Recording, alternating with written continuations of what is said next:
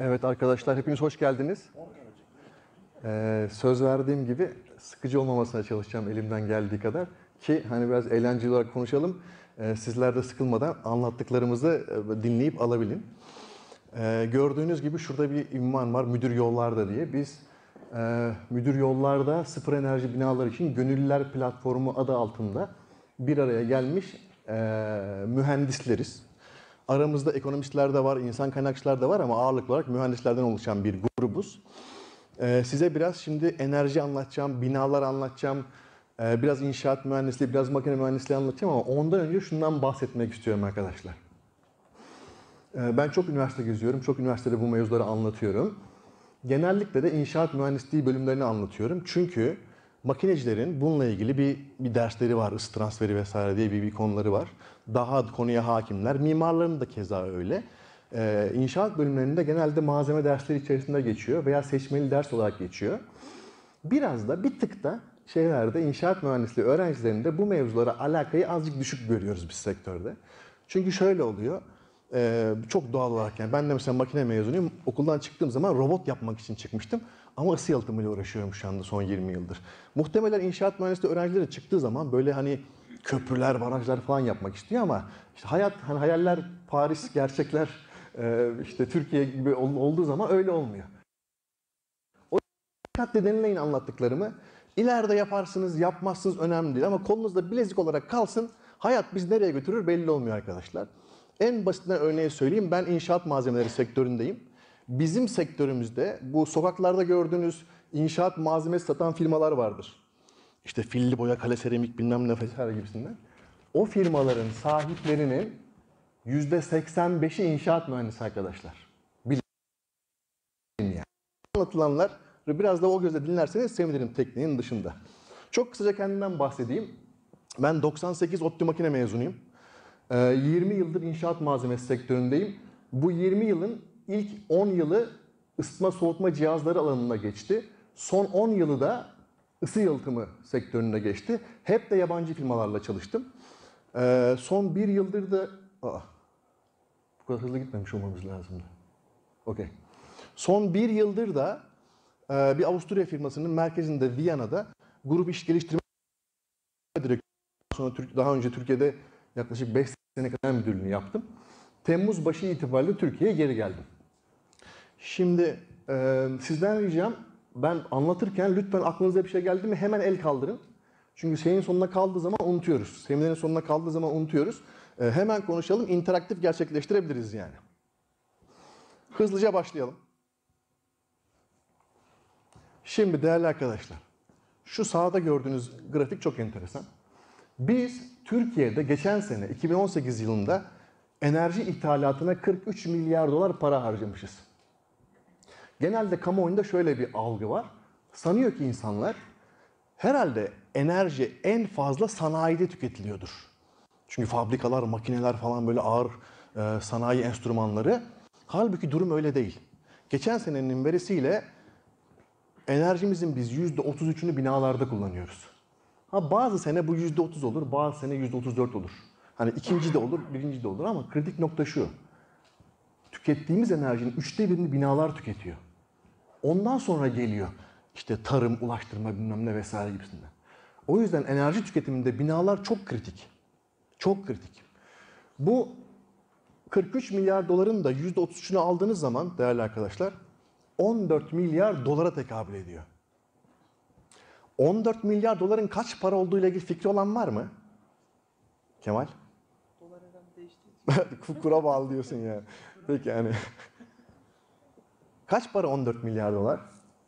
Neler yapılabilir? E, el göreyim mi? Tam benim gözler de iyi görmüyor. Tam nereden ses geliyor anlayamıyorum. Var mı fikri olan? Ne yapabiliriz? On, ne alınabilir 14 milyar dolara? E, ama şimdi ne alınmaz ki hiç mühendisçe bir yaklaşım değil yani. Her şeyi alabiliriz falan. Bulutlu net yani. Şunlar olabilir mesela data. Var mı bilgisi olan? Lütfen. Çinliler Volvo'yu satın almışlar diye. Birkaç senede biz de alırız yani. 3-4 sene sonra Volvo satın alacak kadar. Kaça almışlardı Volvo'yu hatırlıyor musun? Milyardır. 17 milyar doların Tamam. Bir Volvo fabrik, bir Volvo alabiliyoruz mesela örnek verelim. Okey. Şimdi e, çok doğru yaklaşım, aynen öyle. Ee, genellikle e, bu soruyu ben her üniversitede soruyorum ve genellikle hakikaten e, şey ses gelmiyor kitleden. Sebebi de şu, o kadar büyük para ki hafızalamız almıyor. Yani kaç para acaba diye yani. O yüzden ben hem kendim için hem sizin için Aynen öğrenemiyor hocam. Şey, idrak edemiyoruz yani kaç para. Mesela akşamları da televizyonda oluyor böyle ekonomi programları oluyor. Şu kadar milyar dolar geldi bu kadar gitti falan anlamıyoruz ki. Yani kaçtan bahsediyor? Kaç tost alabiliriz acaba o milyar dolar? Bilmiyorsun ki yani. Kaç çay eder falan gibisinden.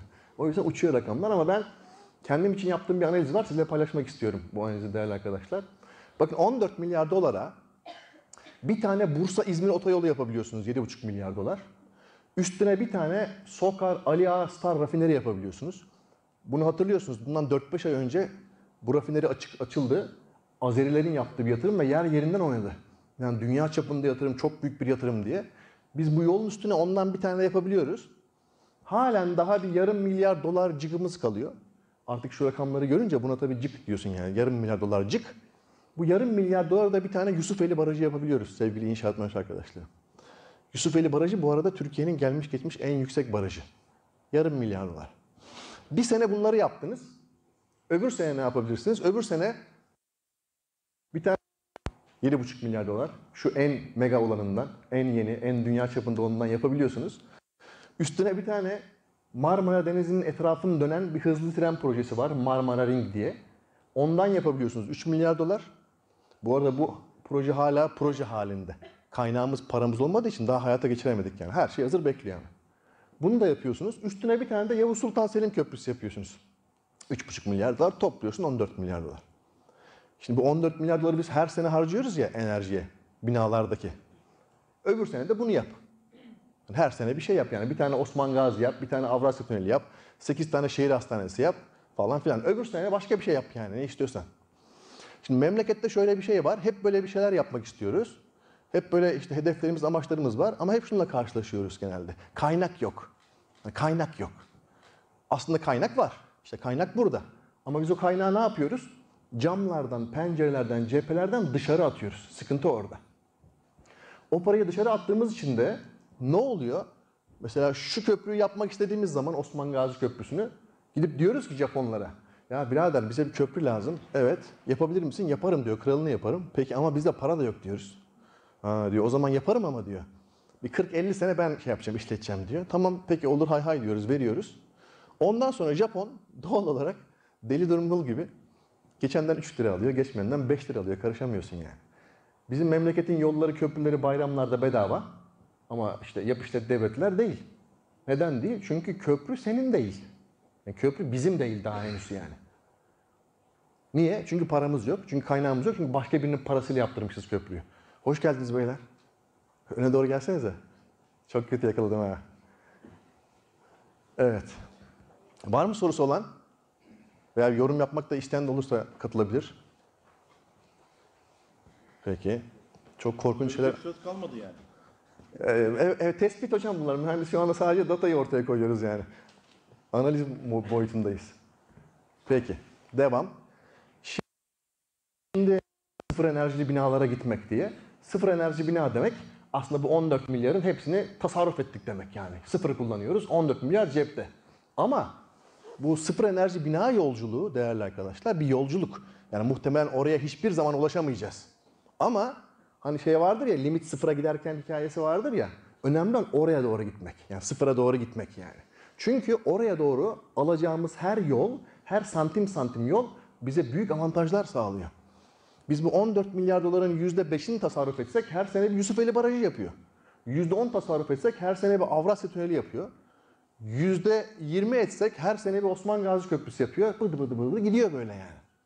Ve değerli arkadaşlar, sevgili mühendis adayı arkadaşlarım, binalarda, binalar tasarrufu sağlamak var ya, öyle hiç de sandığınız gibi zor bir şey değil.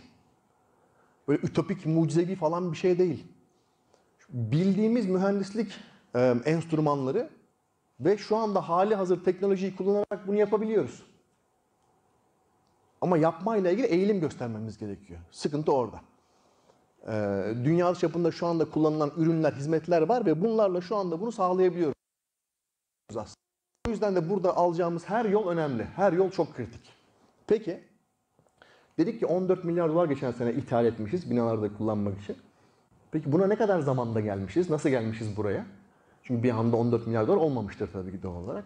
Bakın sol tarafta Türkiye'de binalarda son 15 yılda gerçekleşen enerji tüketiminin artışını görüyorsunuz.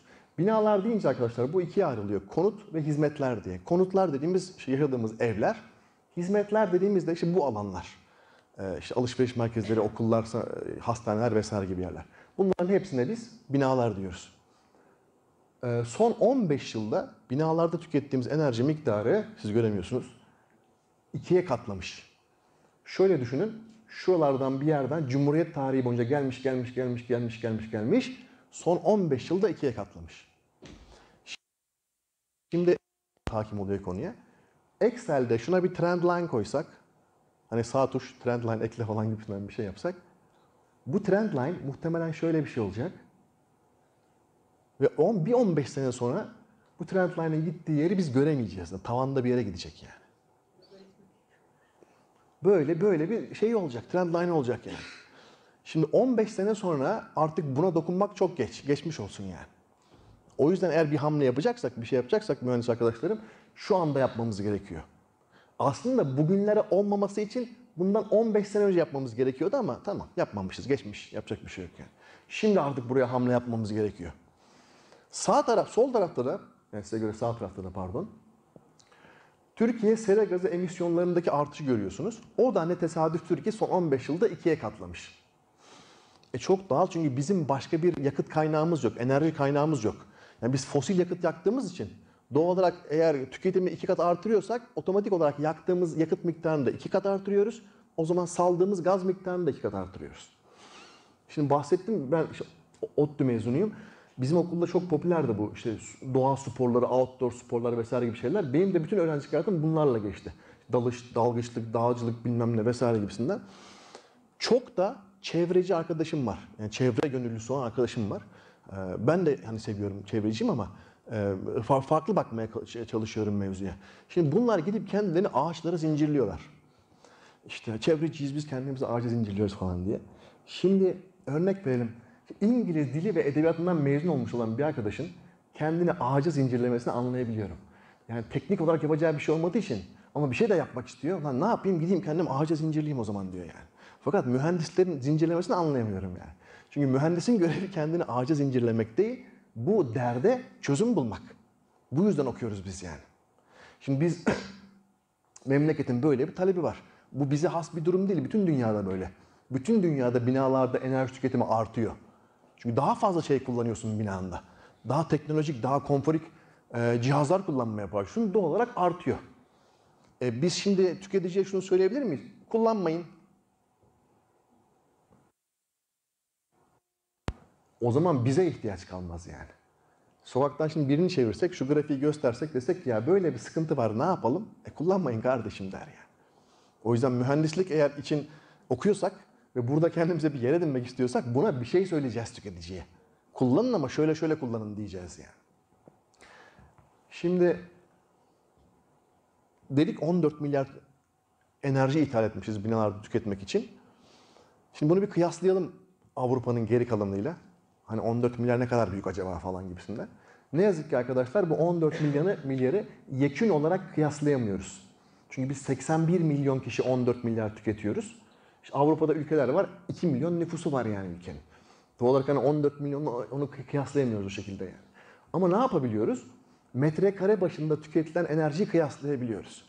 Yani Avrupa Birliği'nde tüketilen toplam enerjiyi buluyoruz. Onu Avrupa Birliği'ndeki toplam inşaat metrekaresine bölüyoruz. Metrekare başına tüketilen enerjiyi buluyoruz. Aynısını Türkiye'de de yapıyoruz. İki veriyi o zaman karşılaştırabiliyoruz. Karşılaştırabilir bir veri haline geliyor. Bakın bizim Türkiye'de binalarımızın mevcut tüketimi metrekarede 150 kW ile 300 kWh arasında. Biz Türkiye'de şu anda bunu tüketiyoruz yani. Hedefimiz ne? Devletin resmi hedefi yani. Bu miktarı 100 kW saatin altına indirmeye çalışıyoruz. Şu. Avrupa Birliği nerede? Avrupa Birliği şu anda 50-75 kW saat arasında. Yani bizim mevcudumuzun üçte biri hedefimizin dahi yarısını tüketiyorlar yani. Şimdi tabii bu adamlar çok fakir olduğu için bize göre. Diyor ki adamlar bu da bize yetmez. Bu da çok yüksek hala. O yüzden de şu anda başka bir şey üstüne çalışıyorlar. Onun adı da pasif evler. Pasif ev ifadesini duyan oldu mu aranızda? Peki. Duydun. Çok güzel. Duymuş olman bile bence önemli yani. Okey. Peki. Çok az kişi duyduğu için ben anlatayım dostum. Pasif ev şu değerli arkadaşlar. Binayı öyle bir hale getireceksin ki e, enerjisini, enerji talebini binanın o kadar düşüreceksin ki bina metrekarede 15 kilowatt saat tüketecek en fazla.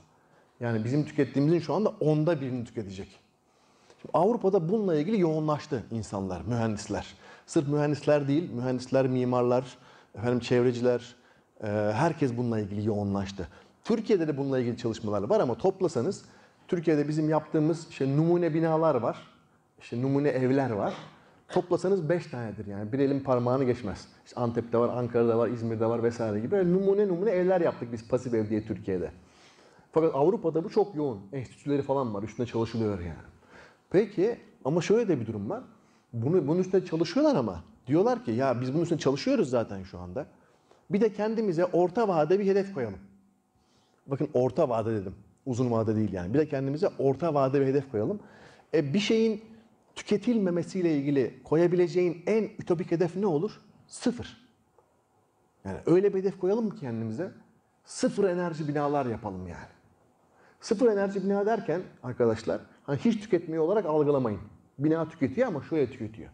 Önce demin pasif ev örneğinde olduğu gibi binanın bir kere ihtiyacı olan enerjiyi minimuma çekiyorsun.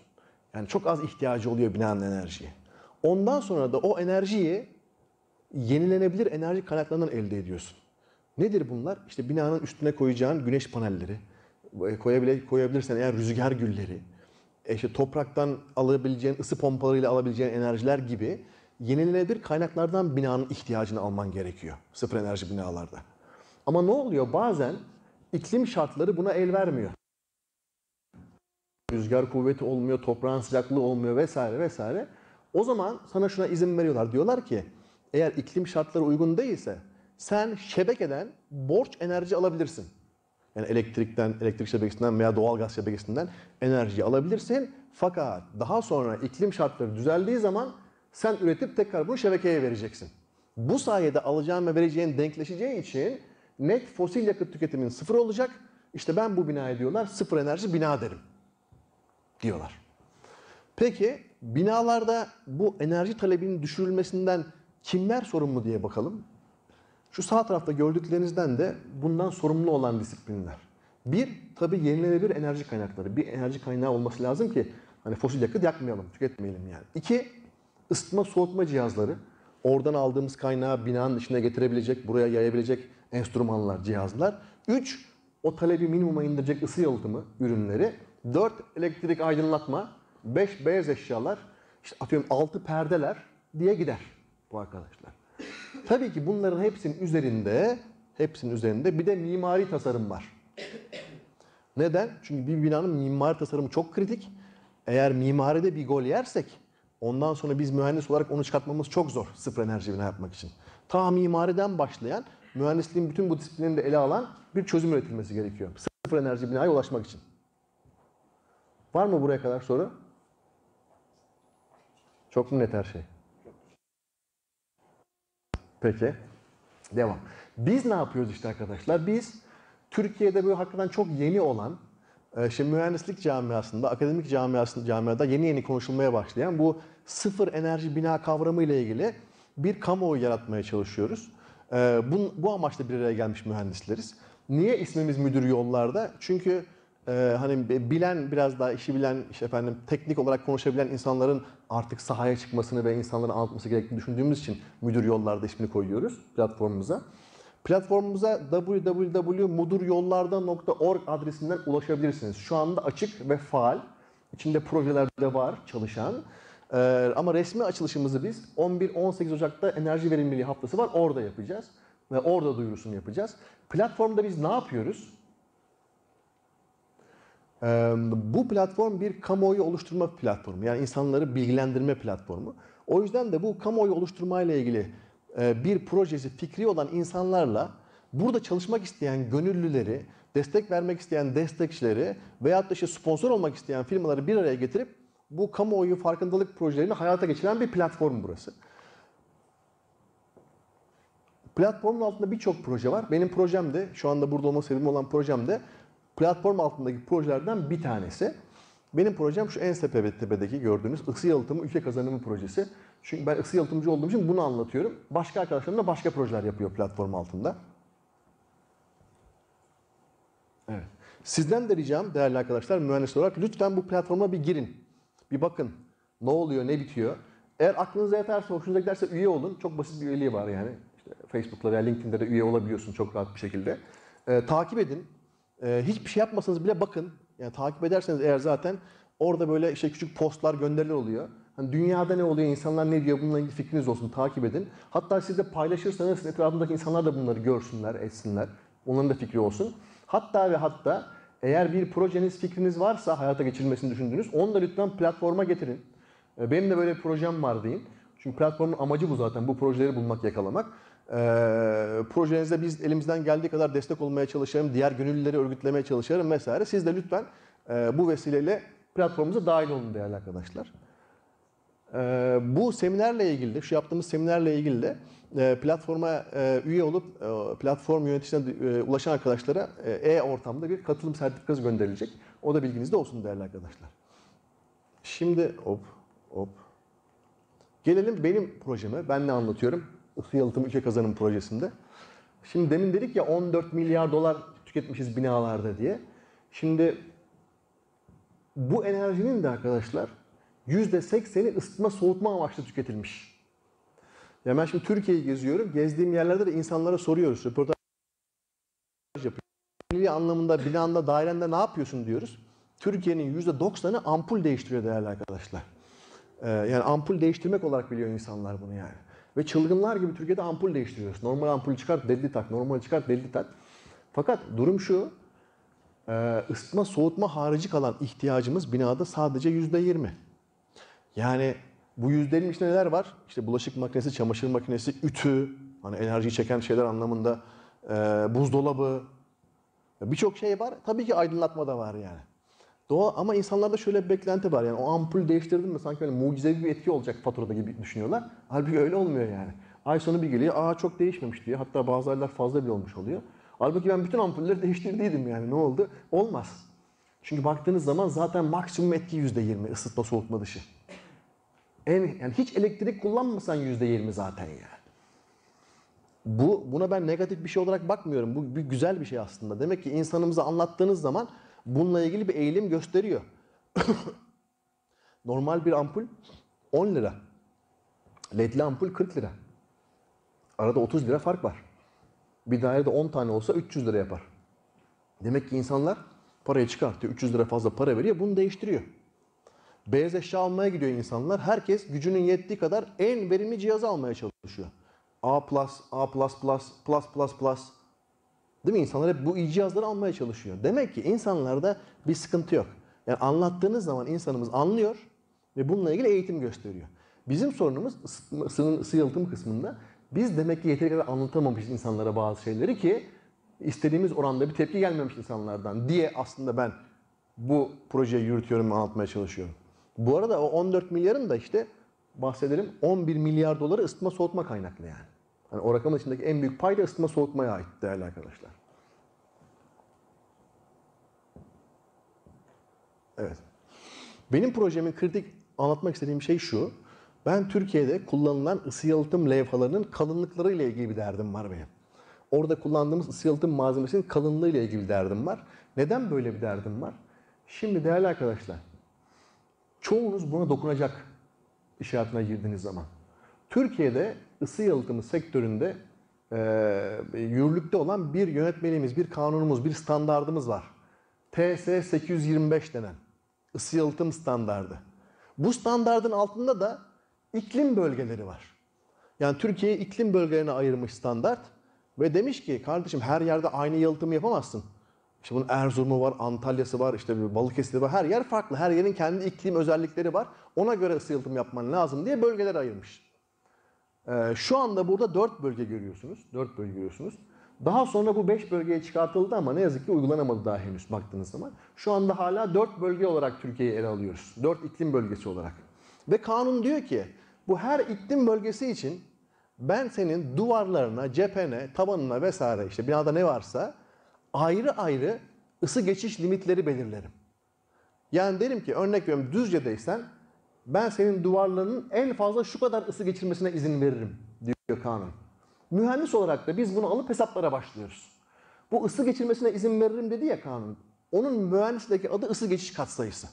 Yani ısı geçiş katsayısı diye bir şey var. Binanın, duvarın, elemanın ne kadar ısı geçirdiğini belirliyor. Kanun da ona bir limit koyuyor. Diyor ki en fazla şu kadar olacak diyor yani. Şu anda bizim kullandığımız limitler bunlar. Limitlerin rakamsal değeri önemli değil. Buradaki ana fikri anlatmaya çalışacağım size. Şimdi arkadaşlar buradaki sıkıntı şu bu limitlerle alakalı. Bu limitler minimum limitler. Yani demek istediğim şey şu örnek verelim. Bu limitlerle birlikte siz bir ısı yalıtım kalınlığı hesaplıyorsunuz cephenizde, duvarınızda. 5 santim diye çıkıyor diyelim ki. Şimdi kanun sana bundan daha fazlasını yapma demiyor. Kanun diyor ki en az bu kadar yap. En az bu kalınlıkta olsun diyor. Fakat ne yazık ki bizim ülkemizde şöyle bir algı var. Kanun bunu diyor ya. Herkes bunu yapıyor. Herkes bu kadar yapıyor yani. Muhtemelen daha kalınını yapmanın faydasına ikna olmadıkları için veya bununla ilgili fikirleri olmadığı için böyle yapıyorlar. Bu rakamlar da kanunun izin verdiği rakamlar da arkadaşlar ne yazık ki 20 yıl öncesine ait. Yani bu kanun yürürlüğe girdiği zaman sene 2008'di.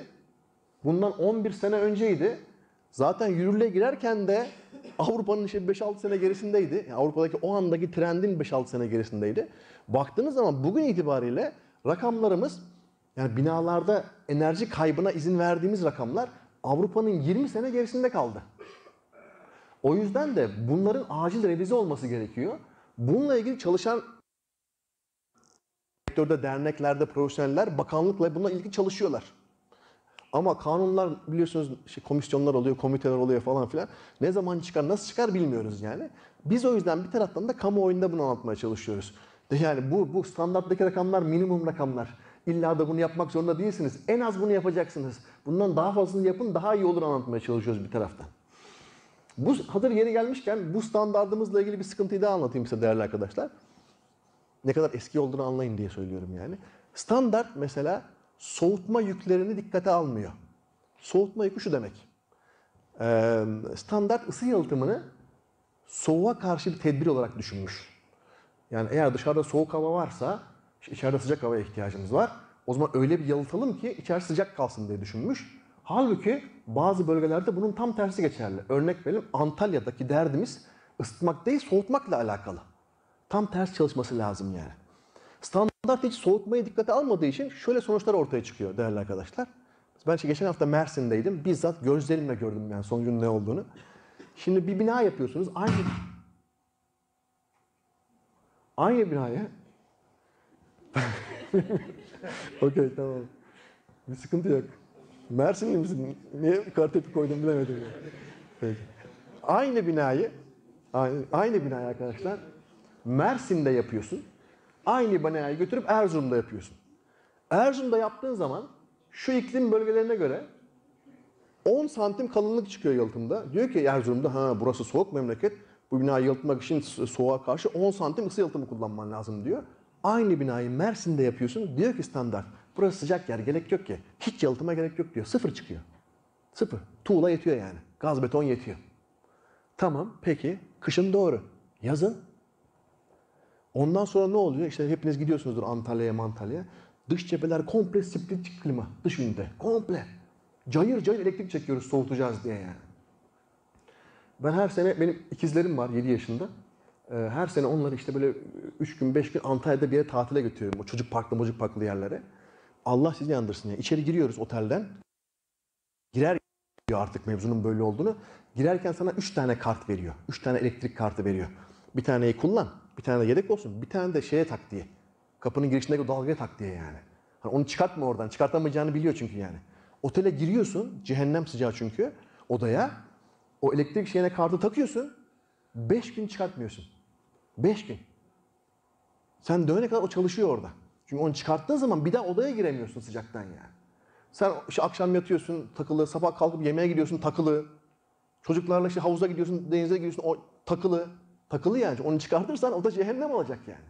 Cehennem. O yüzden ne oluyor? E, Yazın cayır cayır cayır cayır elektrik çekiyoruz yani. Şimdi normalde ısı yalıtımı aslında bunun içinde var. Bunun içinde var yani. Ama standartımızda olmadığı için işte oradaki mühendis arkadaşın veya e, projeci arkadaşın, mimar arkadaşın inisiyatifine kalmış durumda yani ne kadar nasıl yapacağı yani. E, o yüzden bunları anlatıyoruz. Hani standart evet önemli, bir baz olarak önemli ama takılmamak lazım, devam etmek lazım diye değerli arkadaşlar. Devam. Benim elim çok mu değiyor? Bildirim 5 ile ilgili çalışma var mı şu an düzeltme ile ilgili? Şöyle hocam, şimdi hani mecliste de öyle ya, bir şey yapılmamasını istiyorsan komisyona havale et diyorlar ya. Şimdi bir komisyon var hocam. Bir, hat- ama yani evet uzun yıllardan sonra bir komisyon kuruldu. Hem soğutma yüklerinin ek- eklenmesiyle ilgili, hem U değerlerinin düşürüp kalınlıklarının artırılmasıyla ilgili. Fakat o komisyonlar şöyle oluyor. Ee, yani cephede veya bina elemanı olarak kim varsa mevzuya uzaktan yakından dokunabilecek herkesin dahil olduğu bir komisyon oluyor. Bazen de çok teknik bir komisyon olmuyor. Yani orada teknik ve ticari mevzular beraber hani dikkate alınıp konuşuluyor. Yani normalde ya bugün çıkmış olması lazım yani komisyondan raporun örnek veriyorum. Ama aylar sürüyor yani. O yüzden ne kadar o zaman sürer bilemedim diyorum yani. Ama bir şey var. Bir komisyon kuruldu hocam bununla ilgili. İşte İZODER'den, EPSDER'den, işte TUKDER'den, CEPEDER'den arkadaşlar bir araya geldi. Bakanlıktan, e, işte Çevre Şehircilik Bakanlığı'ndan arkadaşlar bir araya geldiler. Bir komisyon kuruldu. Çok iyi niyetli bir çalışma. Bunun farkındayız. Fakat işin doğası gereği devlet de şunu yapmak istemiyor doğal olarak. Bir kanun yönetmeni yürü- çıkartırken e, bir malzeme grubunu adreslemek istemiyor. Yani diyor ki hani ben şey standardı koyayım, siz kendi aranızda halledin. çektiğiniz zaman bazı malzeme gruplarına sıkıntı oluyor. Ee, onlar da doğal olarak orada bir rezistans gösteriyorlar. O yüzden işler biraz sünüyor komisyonda hocam. Tekrar Türkiye'yi misin? Tabii. Şimdi dört tane bölge aslında yanlış. Dediğiniz gibi Erzurum soğuksa e, Antalya'da sıcak. Birinde artı 40 oluyorsa birinde de eksi 40 oluyor. Dolayısıyla bana göre Türkiye'de bir ya da iki bölge olması lazım.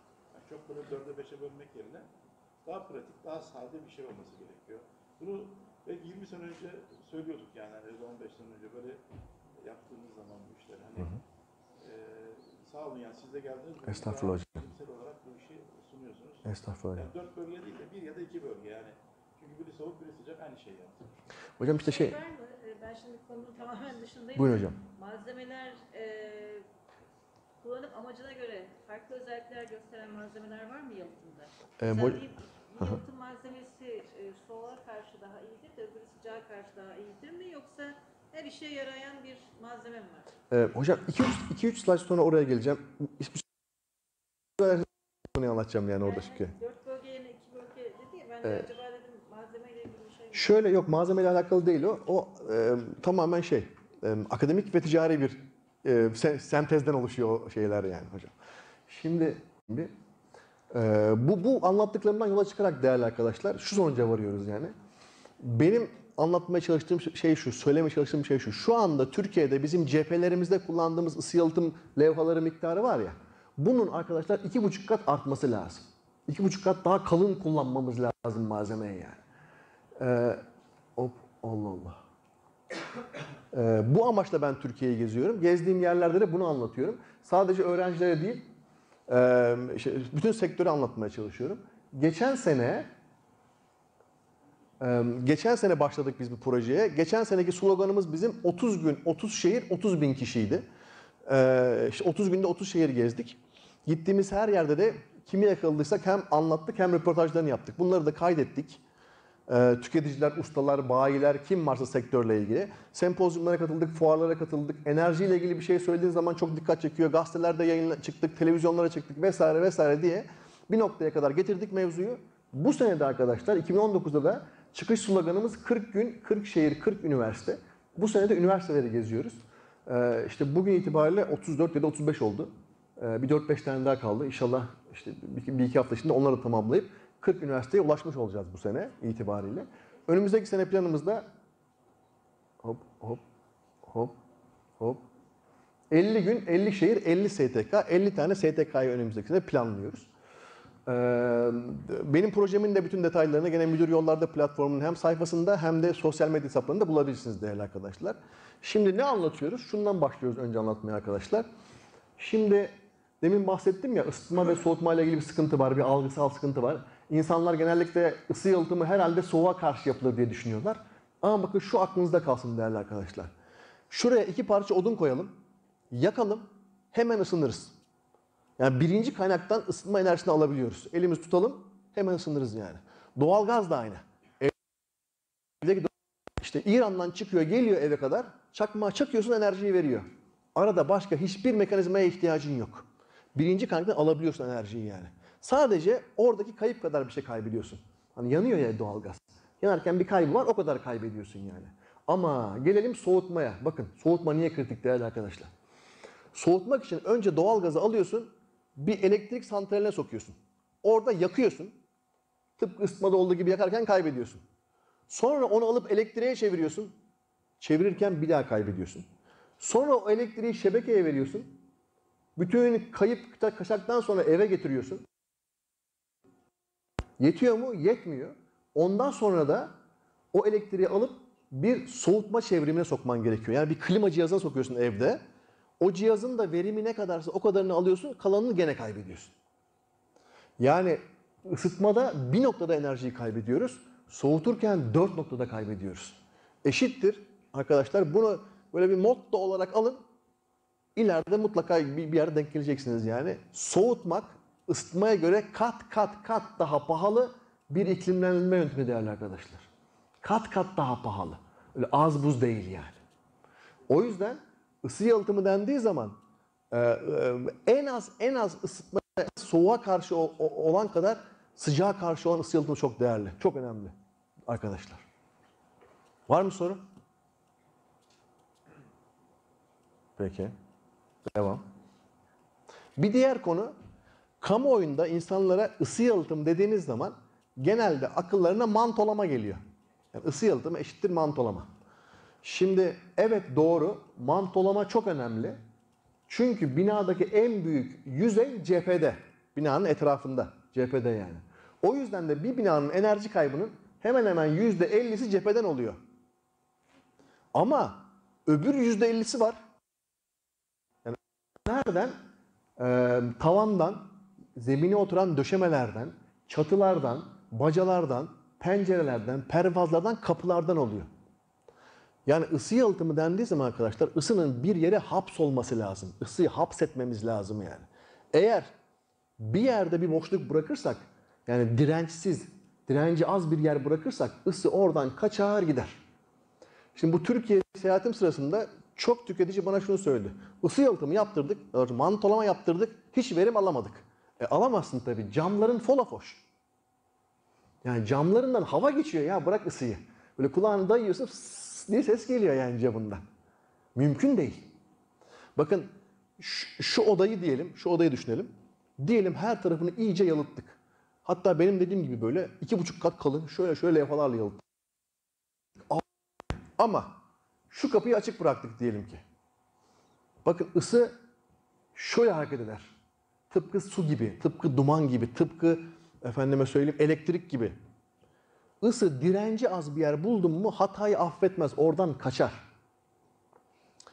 Yani şöyle demez. Ya bu adam buraya bu kadar yalıtım yaptırdı, bu kadar para harcadı. Dur ben şuradan geçeyim demez yani. Bakar, aa direnç var, direnç var, direnç var, direnç var, direnç var. Aa direnci yok. Kaçar gider. Siz inşaatçılar bilirsiniz ya su da öyledir. Bir terasa su yalıtımı yaparsın. 10 numara yalıtım yaparsın. Azıcık bir yer bırakırsın. Affetmez namussuz yani. İşte kaçar orada. Onu bulur yani su. Üniversiteye gelirken hepimiz elektrik devresiyle uğraştık. Elektrik devreleri. Sen yaparsın. işte altına da bir rezistans koyarsın. Hani elektrik buradan geçecek. Bu ısıtacak rezistansı. Isınacağız bu sayede mesela. Ama orada başka bir devre vardır. Üstünde rezistans yoktur, direnç yoktur. Ne yapar? Shortcut, kısa devre. Kaçar gider. Çok basit. Direnci gören yerden gitmez. Isı da öyle. Direnci gören yerden gitmez. Dirençsiz yerden kaçar. Eğer sen 10 numara mantolama yapmış da olsan, eğer camın açıksa geçmiş olsun. O yüzden ısı yalıtımı deyince arkadaşlar lütfen aklımızda sadece mantolama olmasın. Bütün binanın kabuğunu ele almamız gerekiyor değerli arkadaşlar. Devam. Şimdi hocam sizin benim sorduğunuz soruya geleyim. Isının şöyle bir hareketi var arkadaşlar. Her zaman her zaman sıcaktan soğuğa doğru gidiyor. Doğal olarak kışın içeriden dışarıya, yazın dışarıdan içeriye. Hep sıcaktan soğuğa. Biz ne yapıyoruz mühendis olarak? Biz de diyoruz ki bunun arasına, ikisinin arasına, iki ortam arasına öyle bir malzeme koyalım ki bu malzeme ısı geçişine dirençli olsun. Isı geçişine dirençli bir malzeme koyalım. Bunun adı yalıtım işte yani. Bu malzemenin adı ısı yalıtımı diyoruz buna yani. Doğal olarak bu direnç, buraya koyduğumuz malzemenin direnci ne kadar fazla, ne kadar kuvvetliyse, ısı geçişine ne kadar fazla direnç gösteriyorsa o kadar iyi. Peki bu direnç neye bağlı? O da arkadaşlar iki şeye bağlı. Çok basit. Bir, doğal olarak malzemenin cinsine bağlı. Yani oraya koyduğun malzemeye bağlı. Nasıl malzeme koyuyorsun oraya yani? Oraya eğer demir koyarsan, demir, demir nedir? Isıyı çabuk iletir. İşimize yaramaz.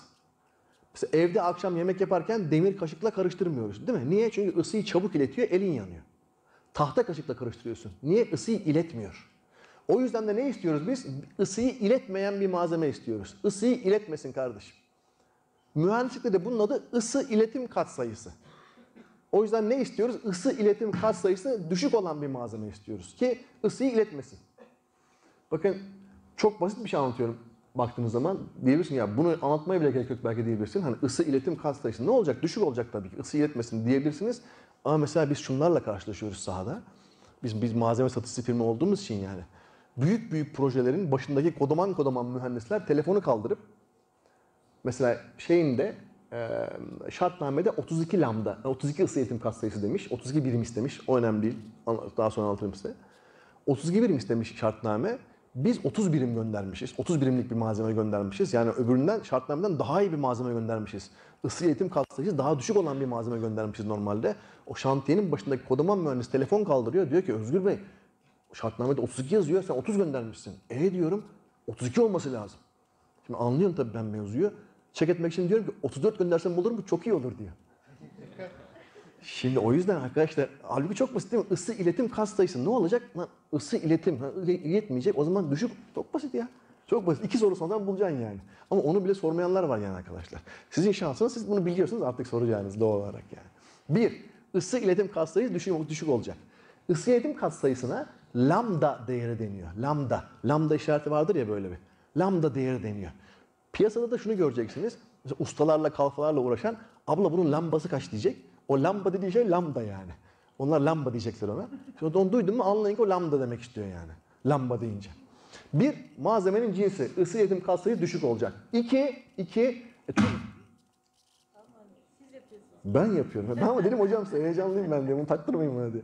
İki, bu yol var ya ısının geçtiği yol. O da uzun olacak. Çok basit. Çok basit. Yani kalın olacak ki malzeme o ısı uzun bir yoldan geçsin. Eşittir. İki şeye bağlı. Isı iletim katsayısı düşük olacak. Malzemenin kalınlığı büyük olacak. Çok basit. Yani mühendislik formülünü görmeye bile gerek yok yani bunu söylemek için ama hani size ispat olsun diye göstereyim formülde yani. Formül de şu işte. Direnç, direnç, oraya koyduğumuz malzemenin direnci iki şeye bağlı. Kalınlıkla doğru orantılı. Ne kadar kalın olursa direnç o kadar fazla. Lambda ile ısı iletim katsayısıyla ters orantılı. Isı iletim katsayısı ne kadar düşerse direnç o kadar artıyor. Bu kadar. Bana sorarsanız e, cephedeki ısı yalıtım dersi bitmiştir yani. Bundan sonrası teferruat buradan sonrası yani. Şimdi ben niye hep kalınlık, kalınlık, kalınlık diye vurguluyorum? Çünkü değerli arkadaşlar, biz şu anda Türkiye'de dünyada hangi teknolojisiyle malzeme üretiliyorsa ve ısı yalıtımında onu üretiyor ve onu kullanıyoruz. Finli, Çek, Alman, Japon, Hollandalı ne yapıyorsa aynısını yapıyoruz yani. Datamız da aynı, verimiz de aynı, sonuçlarımız da aynı. Ve dünya öyle bir teknolojik bir iletişim çağına girdi ki artık zaten bir malzemeyi saklayamıyorsun yani. Hemen tık tık diye öğrenip uygulamaya başlayabiliyorsun. O yüzden de ısı yalıtım malzemelerinin hemen hemen bu ısı yalıtım katsayısı değerleri yani yalıtım performansları çok yaklaştı birbirine. Evet farklı tip ısı yalıtım malzemeleri var. Farklı tip. Ama artık bu farklı tipler ısı yalıtım katsayısı daha iyi olduğu için değil, uygulama alanı farklı olduğu için kullanılıyor. Yani arkadaşlar siz binanın farklı yerlerinde farklı ısı yalıtım malzemesi kullanabilirsiniz. Ama hangi ısı yalıtım malzemesini kullanırsanız kullanın, kullanabildiğiniz kadar kalın kullanmaya çalışın arkadaşlar. Unutmayın standart size minimumu söylüyor. En kötü bu olacak diyor değerli arkadaşlar. O yüzden kalınlık şu denklemden de gördüğünüz gibi çok kritik. Çok önemli. Şimdi gene siz inşaat mühendislerinin çok sahada karşılaşacağı bir şeylerden bahsedeceğim. Özellikle bina ile uğraşanlardan. Bir de arkadaşlar böyle fuarlara muarlara gideceksiniz. Böyle malzeme fuarlarına. Orada bazı böyle cambaz hareketler göreceksiniz. İşte bir adam mesela almış bir levha, elinde bir şalamo ateş vuruyor oraya falan böyle. Böyle cambazlı hareketler göreceksiniz yani. Şimdi o şalamoyu vurur, bak der yanmıyor malzeme, bak arkada elimi hissetmiyorum bilmem ne falan. Şimdi sanarsın ki abi ne muazzam bir ısı yalıtım malzemesi bu falan diye düşünürsün. Halbuki yanmamak başka bir şeydir, ısı iletmemek başka bir şeydir yani. O yüzden biz her zaman iki tane veriye bakacağız. Lambda, sen abi geç diyeceksiniz bunları. Geç bana hiç bunları anlatma. Hiç bana bu cambazlığı gösterme. Datayı çıkart önüme, lambdayı göster. Bir de bu lambdayı ne kadar kalın kullanabiliyorum göster diyeceksiniz. Bu, bu cambazlıklardan kaçmak için. Çünkü arkadaşlar şöyle bir durum var. Ee, konunun yani nereye bakacağını bilme, bilmediği zaman insan mühendis de olsa bir şey fark etmiyor değerli arkadaşlar. Eğer oradaki illüzyona bakarsanız e, o zaman şöyle düşünebiliyorsunuz detay bilmediğiniz için. Aa bu malzeme çok iyi bir yalıtım malzemesi diyebiliyorsunuz. İşin kötüsü de şu. Siz bir mühendis olarak bunu insanlara böyle aktardığınız zaman da insanlar diyor ki mühendis bey böyle söyledi. O zaman otobu çıkartmak çok zor. Çok zor. Çünkü sen de mühendis, ben de mühendis. Ben diyorum ki ondan yalıtım olmaz. Ama sen onu görmüşsün fuarda. O detayına bakmamışsın. Sen diyorsun ki olur. E, tüketici şimdi kime inanacak yani? O da mühendis, o da mühendis yani. O yüzden arkadaşlar özellikle ısı yalıtımında hiç öyle yanarlı dönerli cambazlara bakmadan iki şeye bakacaksınız. Bir, lambda. Isı yetim katsayısı. Dataya bakacaksınız yani.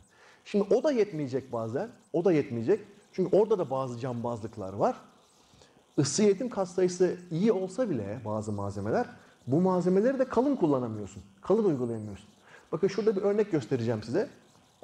Çok teferruata girmeden yani. Şu sağ tarafta bizim bu demin bahsettiğim TS 825 standartı. O standartta bulunan bazı malzemelerin ısı yalıtım katsayısı değerleri.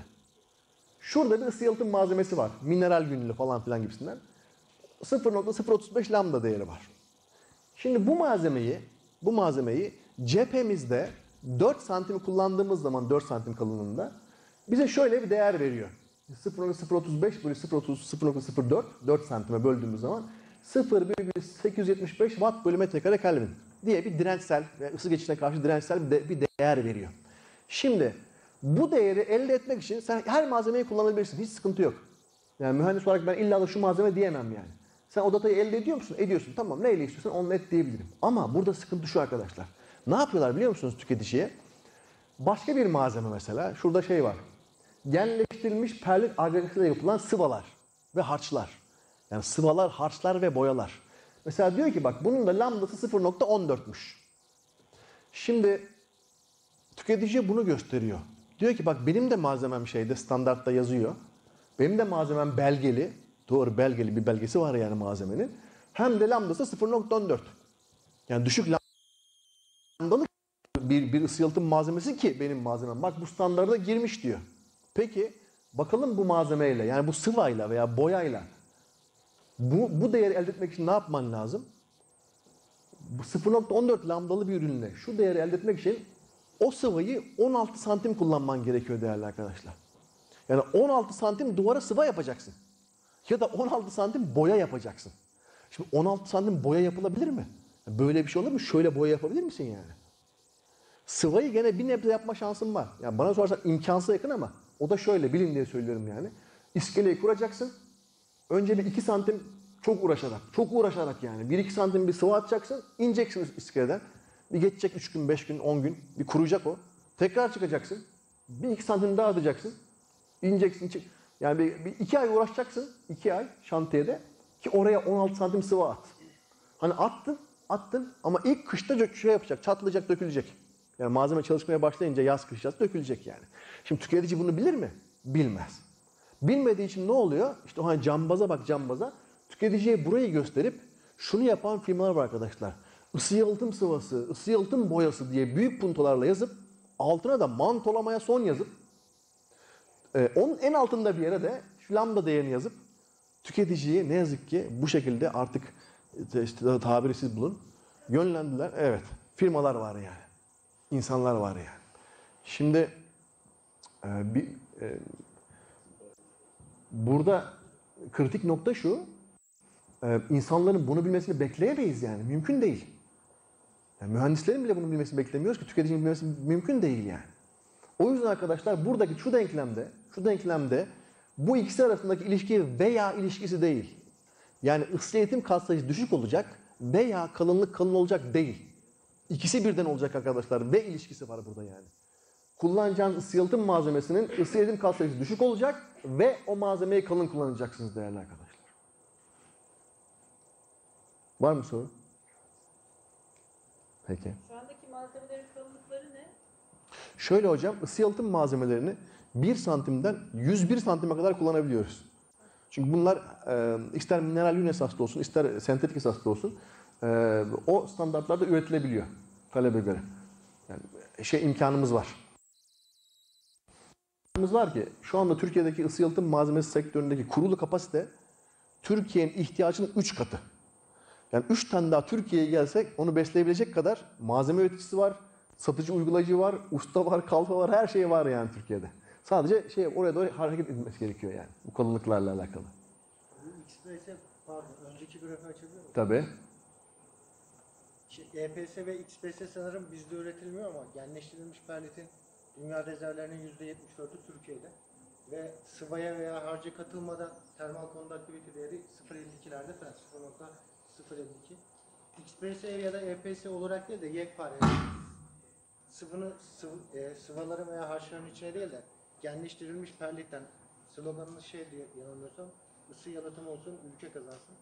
Eğer enerjinin korunumu diyorsak e, yalıtım malzemesinin de yerli olması bize katkı sağlamaz mı? Yani sıvının içinde yüksek olabilir ama genleştirilmiş perlitin kendisinden bir yalıtım malzemesi üretilip kullanılması yine e, bize de bir pazar açmaz mı belki ülke pazarı? Ee, Çok çok doğru bir noktaya temas ettin. Çok doğru nokta.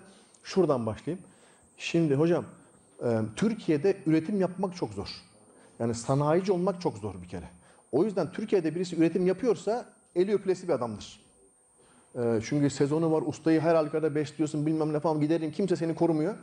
Çok değerlidir yani bir. İkincisi Türkiye'de arge yapmak ondan kat be kat daha zor. Kat be kat daha zor yani. Ben işte e, şirketin merkezinde çalışıyorum Viyana'da. Arge bölümümüz var. Yüzde bir. Yani 100 tane projeye atlıyor, bir projede başarılı oluyor. Doğal olarak muazzam paralar gidiyor ama o bir projeden daha sonra bu parayı çıkartıyor yani. O yüzden bunlar Türkiye'de çok zor. Eşittir. Bunu yapan insanlar da çok saygıdeğer. Çok önemli insanlar yani. Fakat mevzu şu. Daha ürünler o seviyeye gelmedi. Yani eşittir. Şimdi e, evet bu perlitten efendim başka malzemelerden deneyen insanlar var. Ama malzemeler şu anda o seviyede değil. Şimdi ne oluyor bizde? ARGE ile ilgili yeteri kadar destek göremediği için insanlar, göremediği için şimdi ürünün bir olgunlaşma evresi var. Yani fikirden tüketicinin kullanabileceği hale gelene kadar bir evre var. Şimdi bu ürünler ortada bir yerde. Daha tüketicinin feasible olarak kullanabileceği bir yerde değil. Yani ürünlerin maliyet performans analizi bu senin demin bahsettiğim XPS, EPS, taş yünü, cam yünü gibi ürünlere göre tüketici açısından maliyet performans anlamında çok geride hala. Çok geride. O sağlanamadığı için şöyle deniyor. Deniyor ki bu malzemeyi e, işte sen boya gibi kullan. Halbuki o malzeme sana katılıyorum ya. İşte eğer burası yani 0.52 diyorsan mesela, mesela şu malzemeyi diyelim. İşte pardon. Çok ay ne kadar gitmişim. Evet. Nazlık seviyesi de A1 aynı şekilde mi? XPS'de Ama teker teker gelelim. Teker teker gelelim. İkisi ayrı konular yani. Çünkü kafa karışmasın arkadaşlar. Siz belli ki biraz hakimsiniz ama arkadaşlar teker teker anlatalım. Şimdi şu malzemeyden eğer sen şu kalınlıkta kullanıyorsan aynı performansı verir. Bak aynı performansı. Demek ki eğer şu lambda deriyle şu özelliklerde bir levha yapabilirsen mı? Yok. Sıkıntı orada yani. O yüzden bunu arıyoruz. Bunu görüyoruz yani. Çıkarsa mühendis onu kullanır. Çünkü bizim için kritik olan bu ikisinin kombinasyonu. Isı yedim katsayısıyla kalınlığın kombinasyonu. Varsa kullanabiliriz. Ama şu anda yok. Ee, perlitten, şey, şeyden, e, ponzadan tuğlalar yapılıyor mesela. Ama yetmiyor işte. Mutlaka onun etrafına ondan sonra bir ısı yalıtım levhası daha kullanman gerekiyor. Şöyle oluyor ama mesela. Normalde daha kötü bir malzemeyle eğer e, tuğla yerine kullansaydın diyelim ki 10 santim kullanman gerekiyordu ısı yalıtım levhasını. o gözenekli yapıya sahip olan malzemeyi kullandığın zaman 4 santim kullanman gerekiyor. Mutlaka faydası var. Ama ısı yalıtımının yerine kullanılamıyor şu anda tamamen yani. Sıkıntımız orada. Burada önemli. Yani işte ısı yalıtımını yaparsın. Ondan sonra normal bir sıva veya konvansiyonel diyeyim standart bir sıva veya standart bir boya yerine bunu kullan. Olur çok iyi olur yani. Ama şu olmaz. Isı yalıtım malzemesini çıkartıp sadece bununla yapayım dediğin zaman olmuyor. Tutmuyor veri yani. Tutarsa hay hay. Başımızla birlikte yani. Şeyle ilgili eee ham madde kısmı ile ilgili şöyle şimdi ısı yalıtım malzemelerinde sıkıntı eee, aradığınız şey şu. Bütün aslında enerji verimli ürünlerle alakalı bu geçerli yani. Şimdi mühendisin görevi sadece ürünün bir noktasına odaklanmak değil. Yani işte sadece ham maddeye, sadece ürünün uygulandığı yere, sadece arada başka bir yere odaklanmak değil. Ürünün bütün hayat ağacına birlikte bakmamız gerekiyor. Şimdi evet, iki tip ısı yalıtım malzemesi var arkadaşlar. Bir tanesi sentetik esaslı dediğimiz, buna plastik de diyebiliriz yani. Petrol türevi malzemelerden yapılan EPS, XPS gibi köpük dediğimiz levhalar. Birinci grup bu. İkinci grup mineral yünler dediğimiz taştan, topraktan yapılan, bazalttan, camdan yapılan malzemeler. Şimdi bu mineral yünlü grubun ham maddesi Türkiye'de doğal olarak. Öbürünün ise yani plastikler grubunun ise ham maddesi bizde değil. Çünkü petrol türevi olan bir malzeme dışarıdan geliyor. Fakat petrol türevli olan bu XPS, EPS grubunu üretirken çok kolay üretiyorsun ve çok düşük enerji harcıyorsun. Öbür grubu, mineral yün grubunu üretirken ise çok zor üretiyorsun ve üretiminde çok fazla enerji kaybediyorsun. O yüzden de mevzu ürünün sadece ham madde bazlı değil, aynı zamanda üretilirken tükettiği enerjiyi ve bıraktığı karbon ayak izine bakmamız gerekiyor. Yani ürünün ham maddesinden uygulandığı yere kadar ne kadar karbon ayak izi bırakıyor ve ne kadar karbon ayak izinin dünyadan yok olmasına sebep oluyor. Bu açıdan baktığınız zaman ister sentetik esaslı olsun, ister mineral yün esaslı bütün ısı yalıtım malzemeleri üretilirken sebep olduklarının kat kat daha fazlası oranda karbon ayak izi düşürürler. O yüzden de sadece ham madde odaklanmak doğru değil. Ham madde evet yurt dışından geliyor da onu ürüne çevirmek için kullanılan enerji de yurt dışından geliyor. Örnek veriyor. Öyle bakmak lazım hocam oraya. Yani çok bulunduğu için katma değeri artırılır belki bu sektörde diye düşündüm. Çünkü gübre olarak falan kullanılıyor yanılmıyorsam. Ee, şöyle işte buradaki mevzu da işte e, bir şey sanayi üniversite mevzusuna gidiyor hikaye. Yani evet böyle bir fikir var ama ürün işte arada bir yerde güdük kaldı. Yani fikirden çok az evrildi. Firmaların da bunu daha fazla taşıyacak gücü olmadığı için yani normalde o ürünü beklemen lazım. Olgunlaştığı zaman piyasaya sunman lazım ama firmaların da bu gücü yok. Bu gücü yok. Gücü olmadığı için ne yapıyor insanlar? O arada bir şekilde çünkü ölecek yoksa firma. Nefes alamıyor firma, yaşayamıyor artık. Yani maddi olarak bitiyor firma. Ne yapıyor? O da yapacak bir şey yok. Ee, kendince bir şeyler e, ortaya çıkartıp koyuyor. Ama çok büyük zarar veriyor. Çok büyük zarar veriyor yani. Peki. Devam. Şimdi hep bu kalınlık kalınlık diyoruz ya arkadaşlar. Bu kalınlık mevzuna bir bakalım. Avrupa ile Türkiye'nin oranına. Bakın Avrupa'da Avrupa'da cephelerde kullanılan ısı yalıtım levhalarının ortalama Allah Allah ben buna elimle mi basıyorum? Ne yapıyorum? Anlamıyorum ki. Okey. Ortalama kalınlığı 12 santim değerli arkadaşlar. Türkiye'de bizim kullandığımız cephelerimizdeki ısı yalıtım kalınlığının ortalama kalınlığı 4 santim. Yani otomatik olarak şu sonuca varabilirsiniz di- direkt.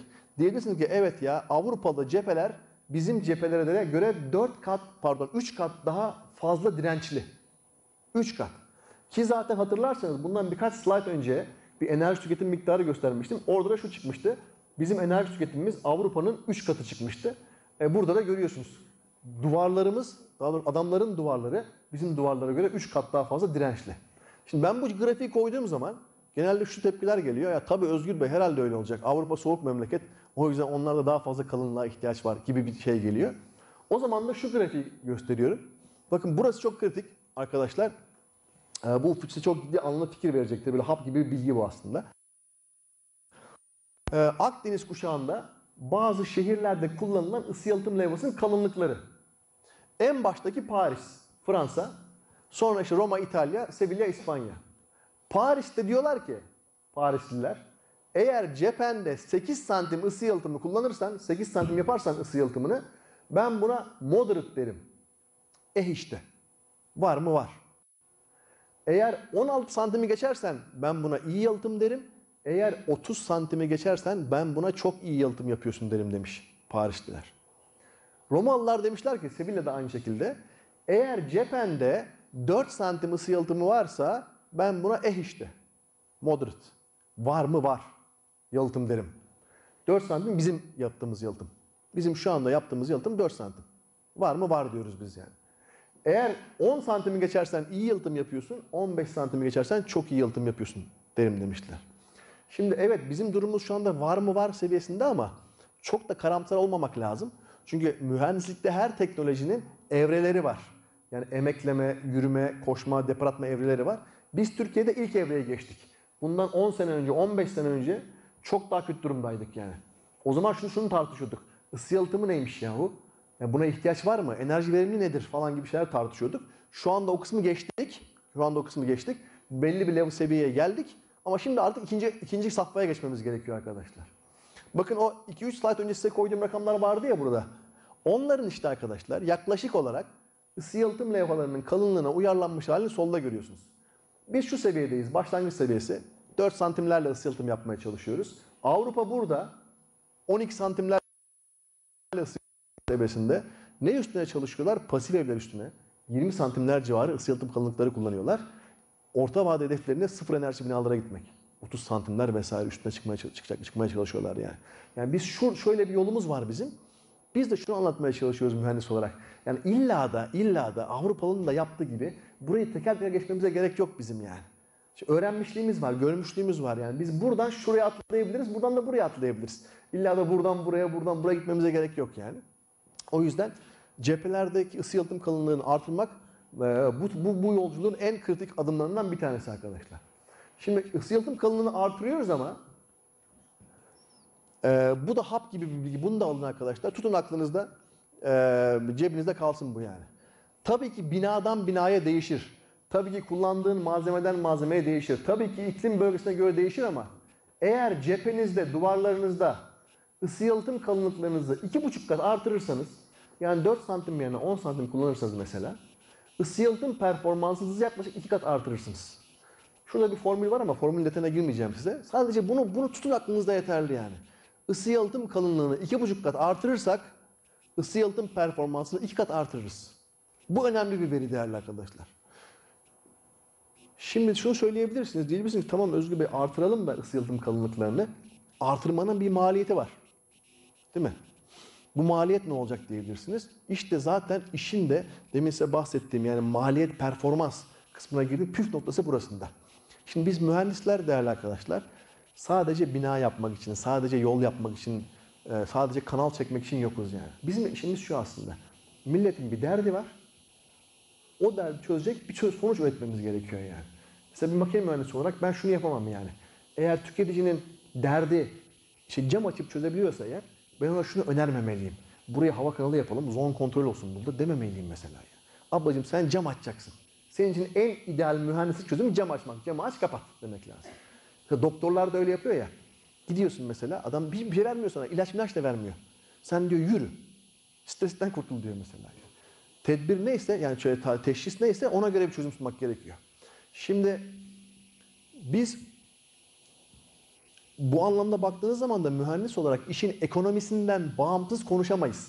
Hiçbir zaman yani. Bakın bilim adamlarının görevi şu.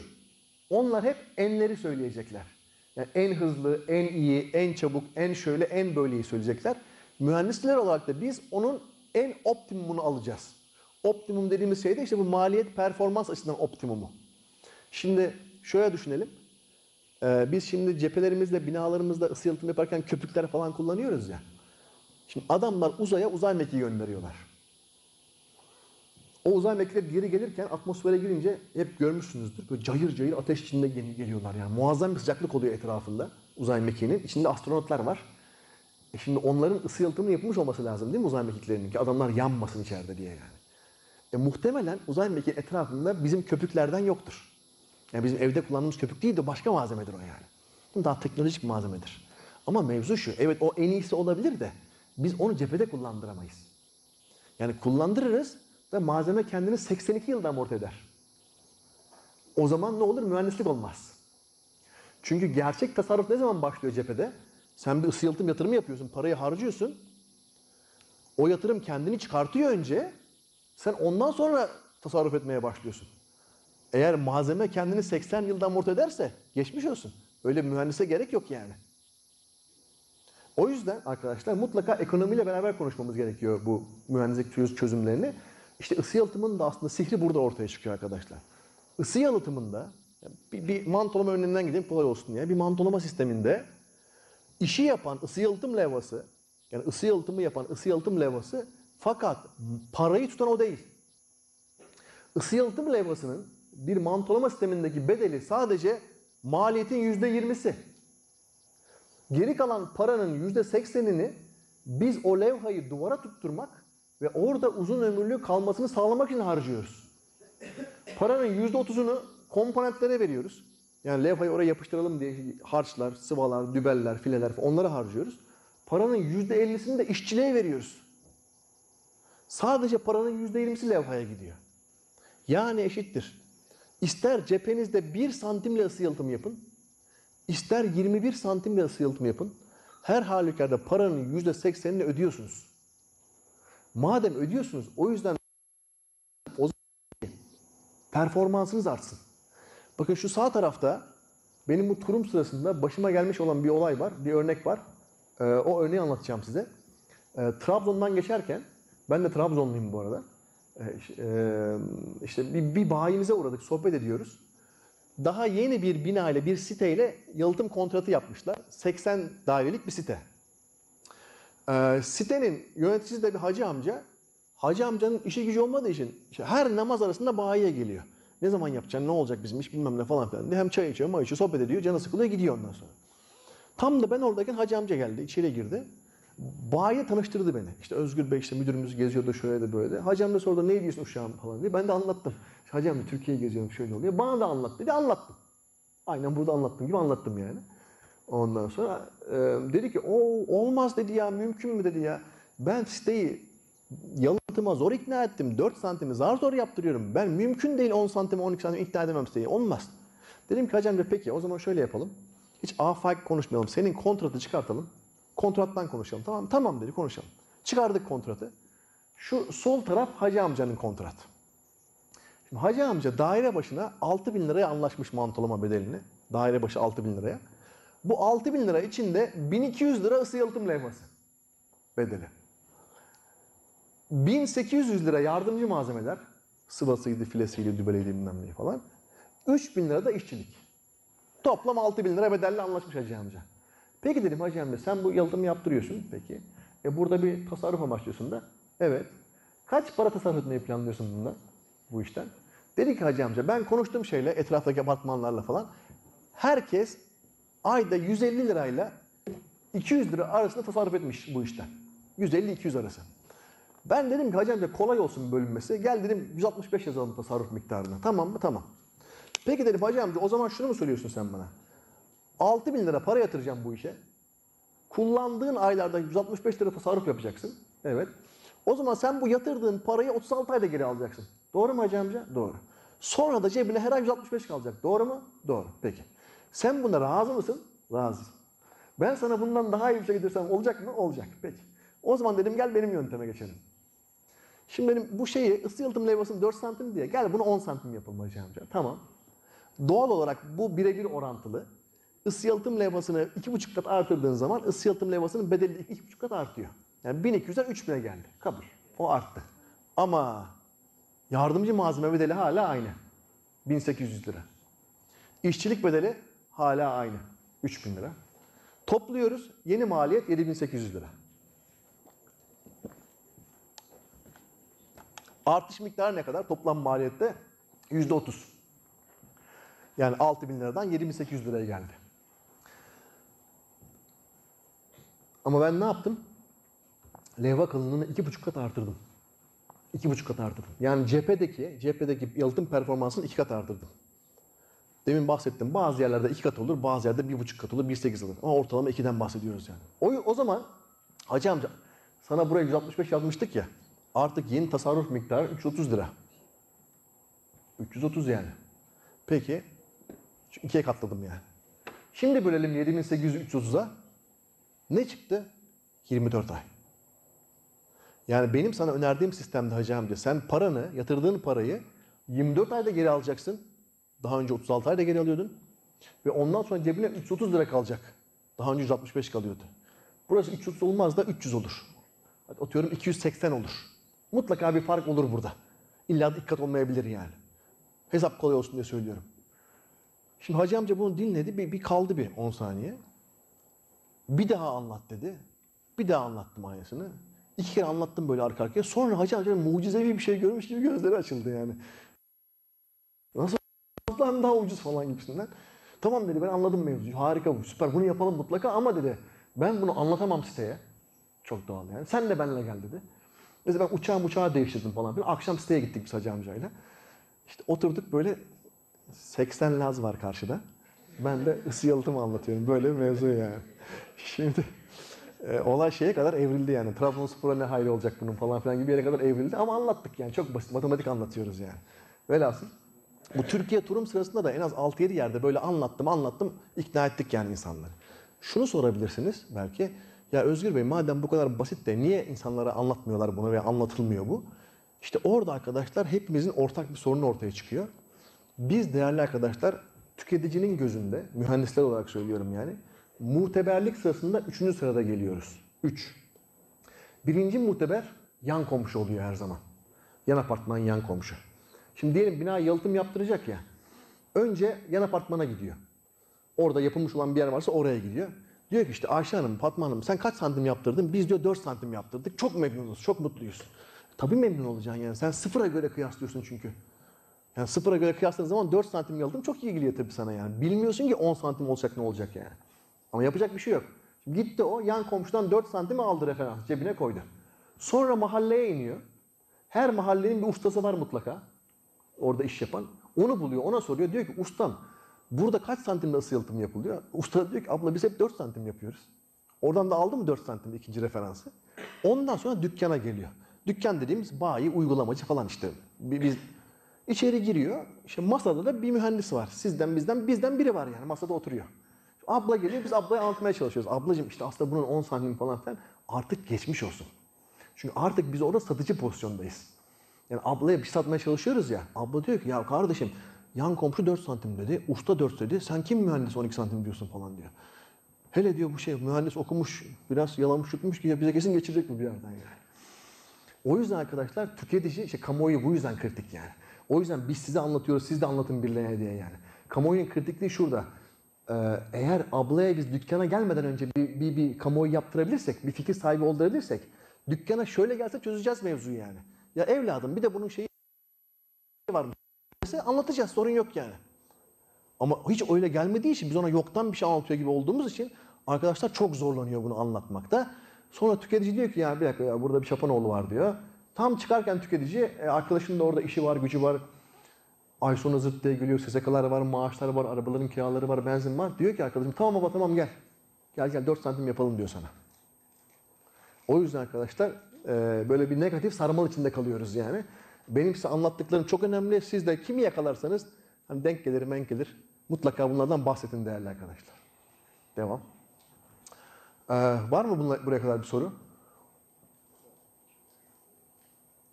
Peki daha anlatacağım çok şey var ama son bir slide göstereceğim size. Kalabiliriz, isteyenleri azat edebiliriz. Bu anlamda bu kritik bunu anlatacağım çünkü. Çünkü bazen böyle kafalar düşmeye falan başlıyor falan. O çok da zulmetmek istemiyorum yani bir şey anlatacağım diye. O yüzden ama siz çok iyi dinlediniz. Tebrik ediyorum. Ee, şimdi bu bu şunu daha önce görmüş olan var mı bir yerlerde şu ibareyi? Nerede? Buzdolabında bravo aynen öyle. Şimdi arkadaşlar 2008 yılında gelen enerji verimliliği kanunu ile birlikte hayatımıza bir belge girdi. Biz bina sektörü profesyonellerinin. O belgenin adı da enerji kimlik belgesi. Bunu duyan oldu mu? Çok iyi. Güzel. Enerji kimlik belgesi şu arkadaşlar. Tıpkı aynen bahsettiğiniz buzdolaplarında, beyaz eşyalarda olduğu gibi binanın enerji performansını notlayan bir belge. Üstünde şöyle bir skala var. Bu skalada A'dan G'ye kadar değerler var. A en iyisi, G en kötüsü. Enerji verimli danışmanı geliyor, binanızı analiz ediyor ve binaya bir not veriyor. A'dan G'ye kadar. Bu sayede biz binanın enerji performansını görme sahibi, şansına sahip oluyoruz. Eskiden bu belge olmadan binaların enerji performansı arkadaşlar şöyle ölçülüyordu. Tüketici geliyordu binaya, müteahhite. İşte yalıtım var mı diyordu. Var diyordu. Teşekkür ederim deyip geri dönüyordu yani. Bir ya da sıfır diye ölçülüyordu. Yani mantolama var yok. Bir sıfır. Şimdi elimizde bir belge var. Bu belgeyle ölçebiliyoruz yani. Bu belge arkadaşlar yeni yapılan binalarda zorunlu. Yani yeni bir bina inşaat yapılıyorsa eğer bu belgesi olmak e, zorunluluğunda. Ve aynı zamanda bu belgedeki sınıf da en kötü C sınıfı olmak zorunda yeni binalarda. B de olabilir, A da olabilir. Ama en kötü C sınıfı olmak zorunda. Eğer bu belgesi yoksa yeni bir binanın binaya ruhsat verilmiyor. O yüzden yeni binalarda durumumuz biraz daha iyi. Yani bayağı bir zamandır yaklaşık işte 2011 yılından beri yeni binalarımız yaptığımız zaman bu belgeyi alıyorlar ve C sınıfı yapılıyor yeni binalarımız yani. Peki soru şu. Kanun diyor ki en kötü C sınıfı olacak. Sizce bir müteahhit binasını A sınıfı veya B sınıfı yapar mı? Çık. Peki. Ne zaman peki veya A yapmak ister? Kanun C derken en kötü. Çok net. Aynen öyle. Bravo. Bravo. Talep varsa eğer A'ya B'ye yapar. Çünkü bizim müteahhitimizin bunu yapmama sebebi bilmemezlikten dolayı değil. Krallığını yapar. Yani Türkiye'deki müteahhit sektörü çok gelişmiş bir sektör yani. Sırf bina için, yani sırf altyapı için değil, binada da öyle. Yani dünya çapında iş yapıyoruz yani. Kralını yaparız yani. Kralı. Dünya çapında yaparız. Ama yapmaz. Neden? Talep yok. Talep yoksa yapmaz ki. Yani eğer tüketici geldiği zaman ya ben A istiyorum, B istiyorum demezse yapmaz. C yapar. Çünkü eğer A, B yaparsa eğer, A yaparsa mesela C isteyen bir tüketici overqualified kalır. Yüksek kalitede kalır. Satamaz, elinde kalır ev yani. Bakın hepiniz mezun olduğunuz zaman bununla karşılaşacaksınız. Personeller için de bu geçerli, çalışanlar için de bu geçerli yani. Bazen bazı işlere başvuracaksınız ve overqualified kalacaksınız. Yani per- e, işin istediği, pozisyon istediği şey burası, kualifikasyon burada. Sizin kualifikasyonunuz burada, işe alamayacaksınız. Çünkü diyecek ki patron, işin patronu, ya şimdi bu adamın kualifikasyonu burada, benim iş burada, bu adam burada sıkılır. Ben buna göre birini bulayım diyecek yani. O yüzden e, mutlaka arz ve talebi dengelemeye çalışacak o. Ne arz ediyorsa o talebden almaya çalışacak.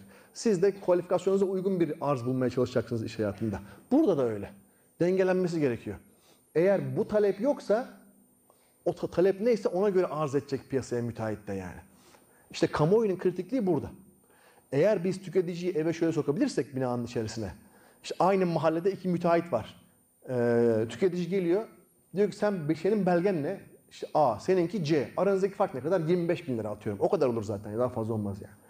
Çünkü bunlar çok böyle büyük maliyet getiren işler değil yani. Eğer tüketici bir tercih sebebi olarak belgesi iyi olanı seçmeye başlarsa eğer işte o öbür müteahhit ikinci projesinde abi biz bunu B yapalım A yapalım demeye başlar yani. O yüzden bu çok kritik değerli arkadaşlar. Şimdi bu belge yeni binalarda zorunlu ama eski binalarda zorunlu değildi. Değildi. Ne zamana kadar? Bundan eee, tam 20 gün sonrasına kadar. Yani 20 gün sonra 1 Ocak 2020'den itibaren eski binalarda da bu belge artık zorunlu hale geliyor. Yani oturduğunuz bir binanız varsa eğer, eski bir binanız, 2011'den önce yapılmış bina, artık binanızın bu belgesi olması şart. Gideceksiniz bir enerji verimli danışmanına, bu belgeyi alacaksınız binanıza yani. Bu belge olmazsa ne oluyor? Bu belge olmazsa bina ile ilgili veya dairenizle ilgili hiç alamıyorsunuz, satamıyorsunuz, ipotek veremiyorsunuz. Çünkü belge tapuya ekleniyor. Tapunun parçası haline geliyor. Eşittir. Kanun yürürlüğe girdi 1 Ocak 2020'den itibaren. Ve bu belgeyi almadınız. Apartmanda sonra bir gün birisi gitti evini satmak istiyor. Geçmiş olsun. Satamaz. Dönecek ve binaya o belgeyi aldıracak. Belge aldıracak derken gözünüzde büyümesin.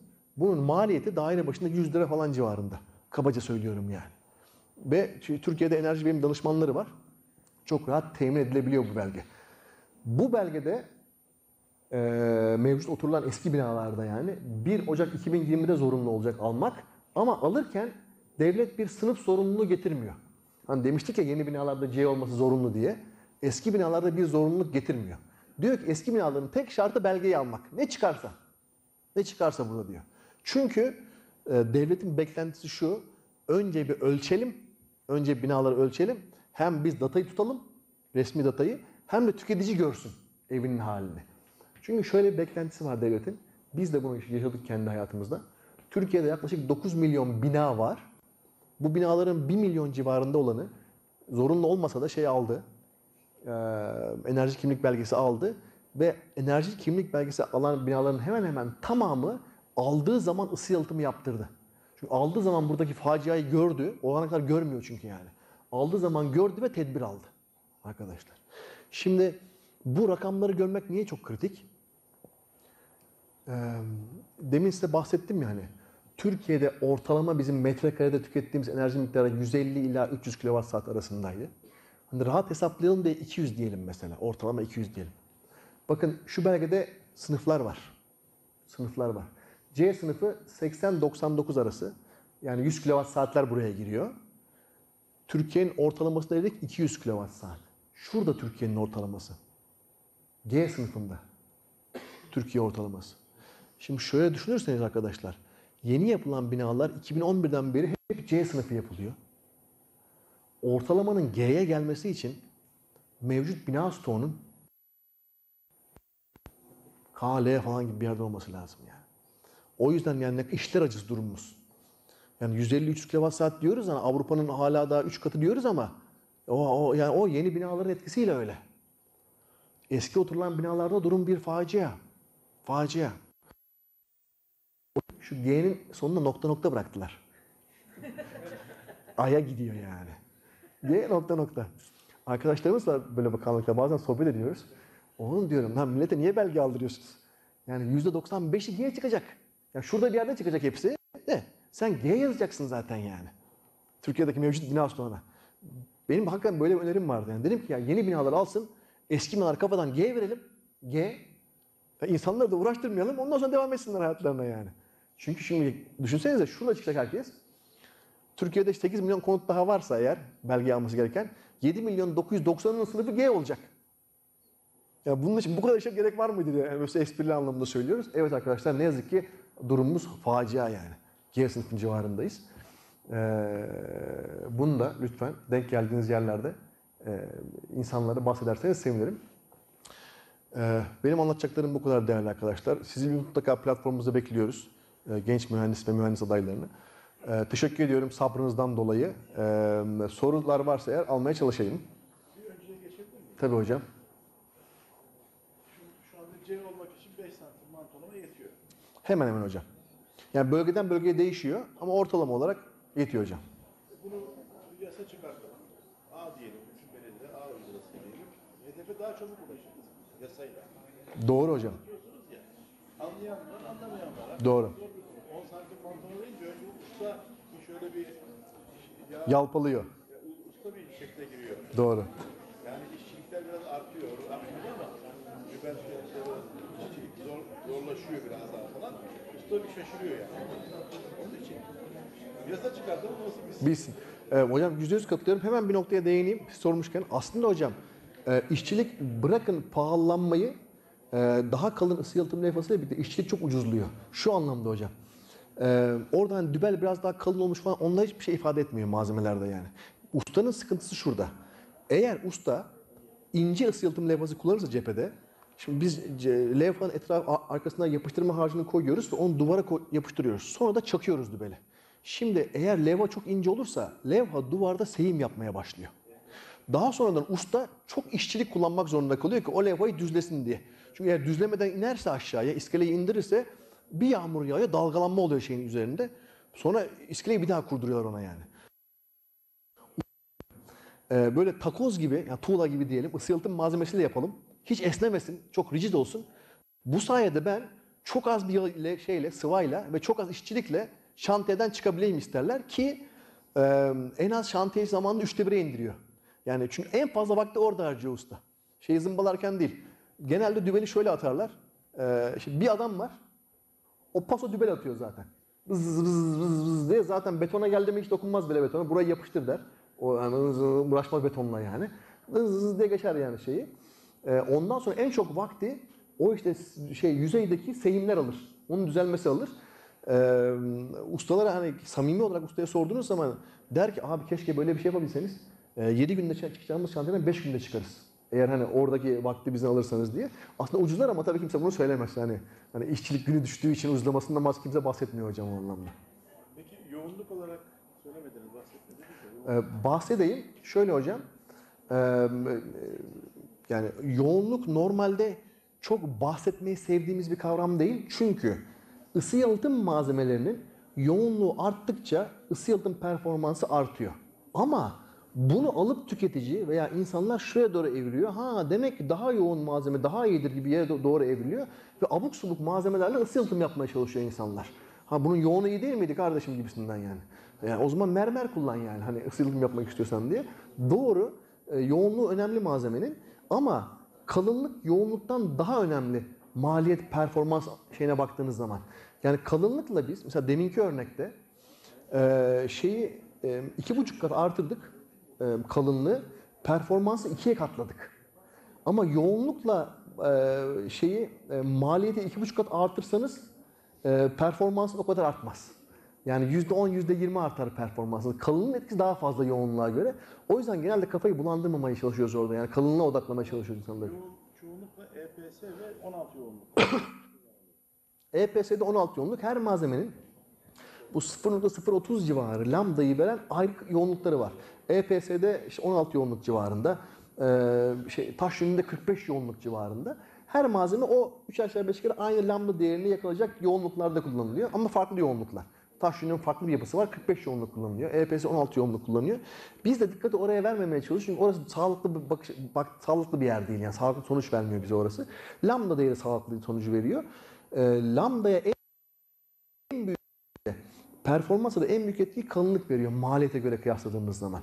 Yani yoğunluğu artırdığımız zaman ona harcadığımız paranın performans olarak dönüşü e, çok düşük oluyor bize hocam. O yüzden yoğunluğa çok şey yapmıyoruz, üstüne basmıyoruz. De bu eğlence kimlik belgesiyle e, TSE 825 bir revize edilmiş oluyor aslında. Kısmen de olsa.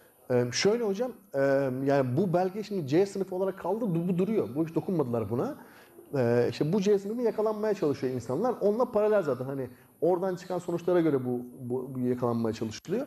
İşte eğer orada bir düzeltme olursa TS 825'te bu data yukarı doğru shift edecek. Mesela bekliyoruz. İşte, Evet hocam, aynen öyle. Ama şeyde kanun içinde e, işte biraz şey gerekiyor. E, yani kamuoyunun da hazır olması gerekiyor şeye.